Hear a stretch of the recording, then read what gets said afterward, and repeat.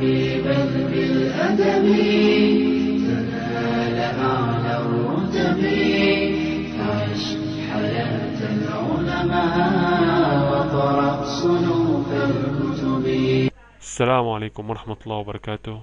أهلا وسهلا بكم في أكاديمية الجيل الجديد. شرحنا اليوم سوف يكون خاص لفريق التسجيل والمونتاج في الأكاديمية. شرح في البداية سوف يكون عن طريقة تسجيل شرح مبسط إن شاء الله. عندما نفتح برنامج ال Camtasia تظهر لنا هذه النافذة. نضغط هنا بجانب ال import media موجود record screen عند الإشارة الحمراء. نضغط على هذا الخيار. وبعدها ما وبعد ما نضغط على الريكورد تظهر لنا الخاصية الخاصة بالتسجيل برنامج مصغر للتسجيل على هذا الشكل. طبعا عدة نقاط يجب علينا أن نلتفت لها في هذه قبل التسجيل يعني. أولا بجانب الأوديو أون لدينا هنا سهم إلى الأسفل نضغط عليه. إذا كنا نريد أن نسجل محاضرة مباشرة من مباشرة للأكاديمية من صوت أستاذ نضغط نتأكد أننا ضغطنا على Don't Record Microphone. على هذا الخيار Don't Record Microphone. هذا الخيار يتيح لنا أن نسجل من الكمبيوتر من الحاسوب الشخصي لدينا ويكون صوت الأستاذ آه، مسموع. لأنه في الكمتازيا ممكن لنا أن نسجل صوتنا. طبعا نسجل صوتنا في الخاصية الموجودة في الأعلى غير don't record microphone. نحن عندما نريد أن نسجل محاضرة لأستاذ ما في في الأكاديمية نضغط على نتأكد أننا ضغطنا على don't record microphone. بعدما نتأكد أننا ضغطنا على don't record microphone طبعا لأنه ممكن أن إذا لم نضغط على هذا الخيار ممكن أن نسجل أصوات آه، خارج المحاضرة مثلا أصوات في البيت عنا أو صوت الميكروفون آه، الخاص بنا. لذلك من المهم التأكد من من الضغط على هذا الخيار. إذا كنا نريد أن نسجل محاضرة وليس أن نسجل مثلا كما أفعل أنا مثلا تسجيل من الميكروفون الخاص بي. أريد أن نسجل مثلا من المحاضرة من صوت خارج الكمبيوتر عندي يعني الصوت عند من صوت الأستاذ. تمام؟ ومن المهم أيضا تحديد المساحة المراد تسجيلها في الغرفة. على سبيل المثال نحن نريد مثلا تسجيل مساحة معينة.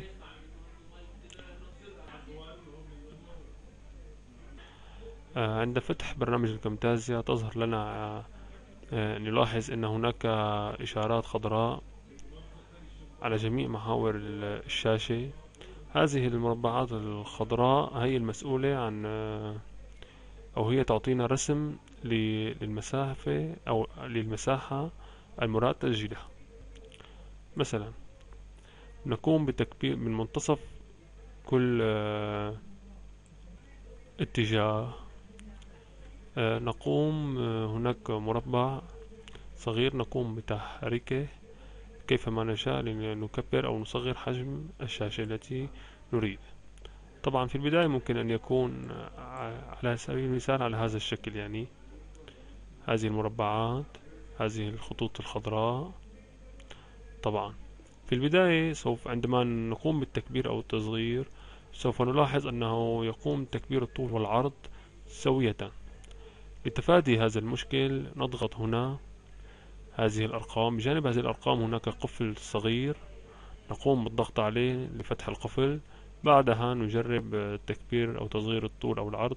سوف يقوم بتصغير أو التكبير آه، آه، الطول لوحده أو العرض لوحده. كل جهة لوحدها يعني. ليست سوية. إن شاء الله. لتفادي هذا المشكل.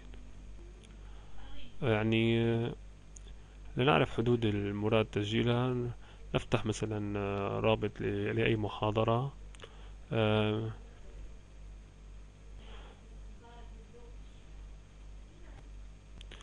الخطين الموجودون هنا في الطول هنا وهنا نتركهم إلى مسافة الشاشة كاملة لنسجل الشات ونسجل جميع الأمور.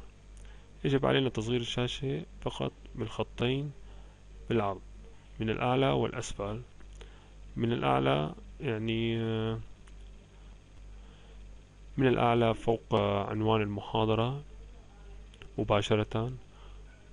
نضع التسجيل أو خطوط التسجيل ومن تحت فوق الوقت مباشرة. طبعا داخل المحاضرة هناك في الغرفة وقت فوق الوقت مباشرة. ومن الأعلى فوق اسم المحاضرة مباشرة. هكذا على سبيل المثال. ومن هنا نسجل نترك الحدود كاملة. من الأعلى لاسم المحاضرة ومن الأسفل فوق التوقيت.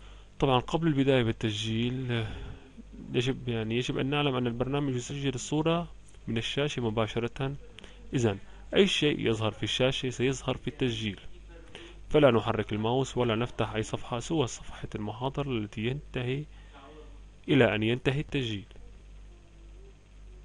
لبداية التسجيل نضغط من لوحة المفاتيح F9 ولنتأكد من أن التسجيل قد بدأ. هناك أربع خطوط خضراء كالتي ظاهرة أمامنا. يتغير لونها بين الأبيض والأخضر ويعني ذلك أن التسجيل آه، قد تم. يعني أن التسجيل قد بدأ. عندما يتغير لون هذه الأربع محاور من الأخضر إلى الأبيض يعني أن التسجيل وبعد الانتهاء من المحاضرة نضغط من لوحة المفاتيح على F10 ستظهر هذه النافذة أمامنا ونختار Save and Edit. ونكتب اسم الملف والمكان المراد حفظه فيه. Save and Edit. نضغط هنا. ونضع الملف نضع الملف في المكان الذي نريد أن أن نحفظه فيه ونضع اسم الخاص بالمحاضرة. وبذلك نكون قد انتهينا من عملية التسجيل. جزاكم الله خير. والسلام عليكم ورحمة الله وبركاته.